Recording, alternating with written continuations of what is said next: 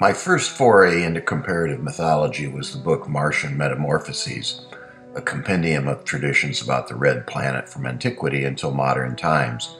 There I documented that Mars was conceptualized as the archetypal warrior hero and as a central player in the catastrophic natural events attending creation and the ordering of the cosmos. My basic strategy was to investigate the earliest literary and astronomical texts mentioning Mars to see if recurring patterns could be found. In time, I succeeded in identifying well over 200 motifs associated with the red planet, including Dragon Slayer, Eclipse Agent, and Fire God. Many of these motifs are shared by Mars gods around the globe, compelling evidence that they trace to the witnessed behavior of the planet Mars in relatively recent prehistoric times. The picture that emerged from my research is that Mars represented an awe inspiring celestial form one prone to drastic distortions in its relative size and luminosity, to say nothing of its propensity for hurling great thunderbolts and generating world engulfing storms. All of these ideas are difficult to reconcile with Mars's present benign appearance, needless to say. In ancient Mesopotamia, the homeland of the first scientific astronomy, Mars was identified with the god Nergal, the latter described as a raging warrior whose incendiary behavior threatened the world.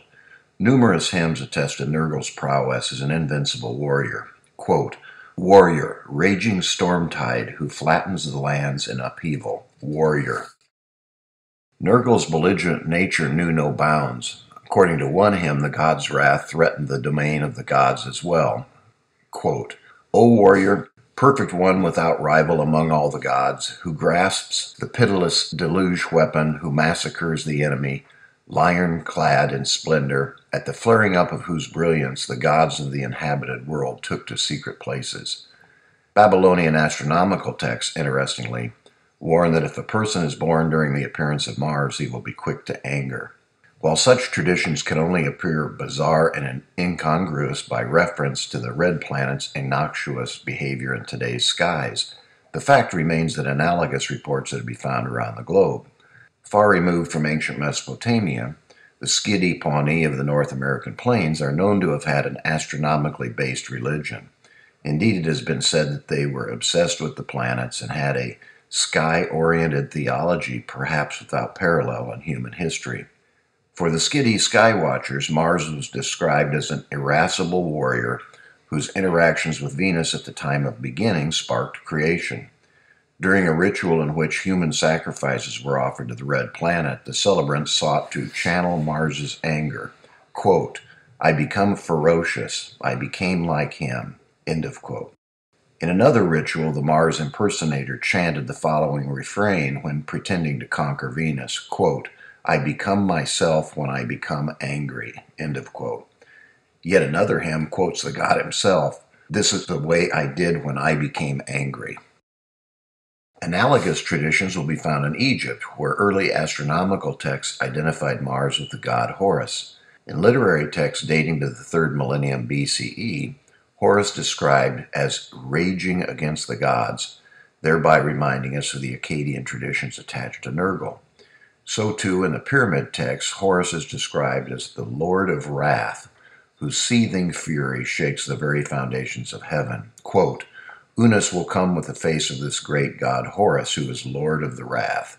He will strike Shu's arms from under the sky. End of quote. The Latin god Mars, whose name was assigned to the red planet during Hellenistic times, was remembered as a warrior whose terrible fury knew no bounds.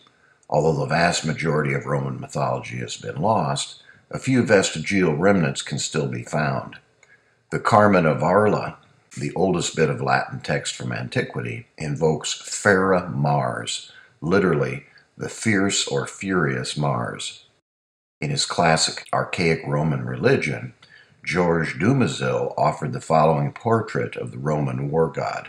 Quote, the ambiguous character of Mars, when he breaks loose on the field of battle, accounts for the epithet caecus, or blind, given him by the poets. At a certain stage of furor, he abandons himself to his nature destroying friend as well as foe.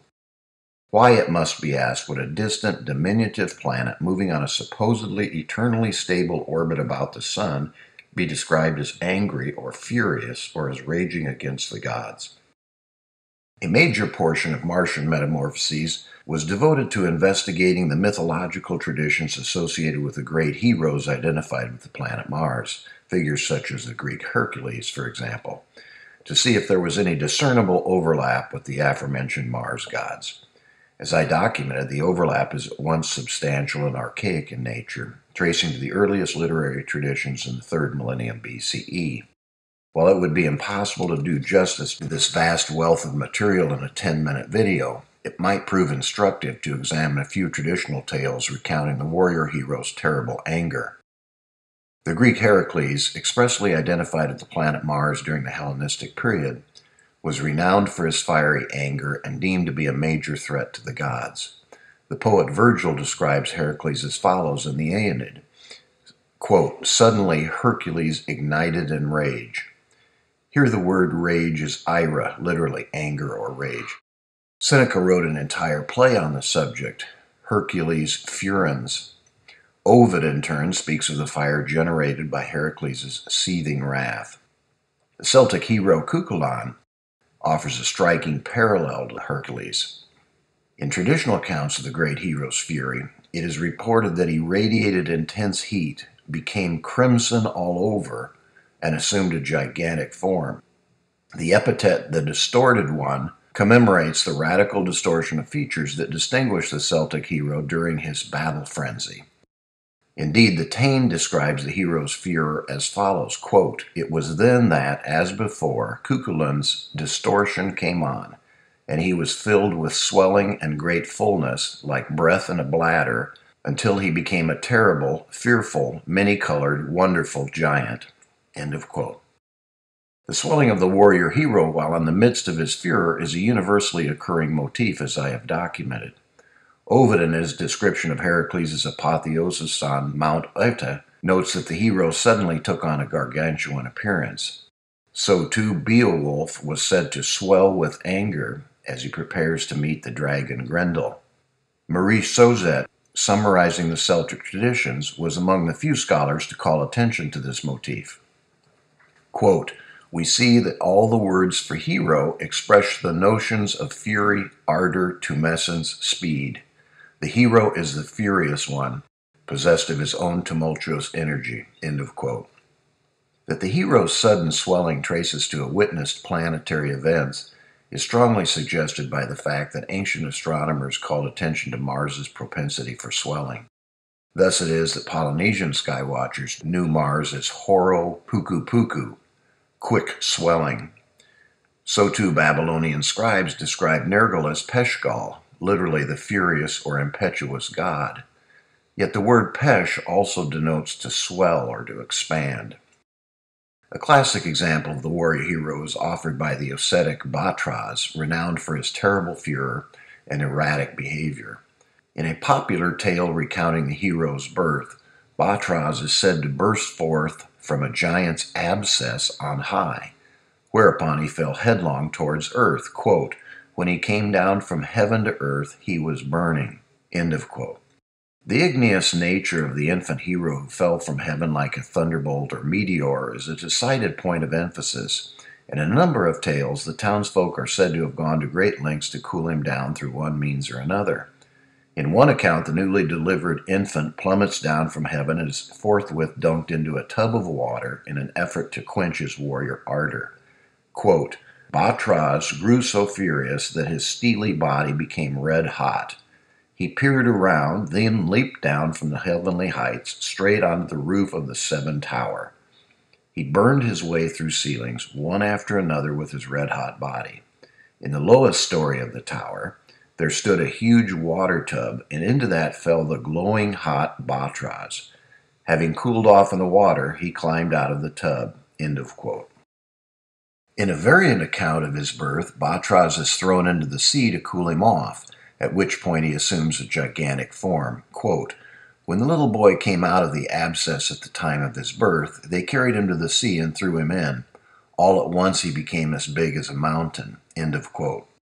Such traditions have nothing to do with human biology, needless to say. Rather, these vignettes encode extraordinary, i.e., cataclysmic, natural events. The curious report that Batraz became as big as a mountain upon descending from heaven represents an invaluable clue. As we have documented elsewhere, when the planet Mars descended towards Earth as a meteor like bolide along the axial column uniting the various planets, it assumed a colossal form. Like countless other warrior heroes, Batraz was a notorious shapeshifter. Especially relevant here are the traditions that describe the hero as taking the form of lightning. Quote, After a turbulent and marvelous childhood, somewhat reminiscent of that of Heracles, he went to heaven where he lived from that time on, never leaving except to fall literally onto the earth in the manner of lightning, sometimes to save his fellow Narts when they were in danger, but sometimes to decimate them cruelly and blindly without any clear motive. Each of these descents is described in terms and images that express his lightning nature. End of quote. On those occasions when Batraz descended from heaven, it is reported that he was wont to assume a brilliant red form and become furious.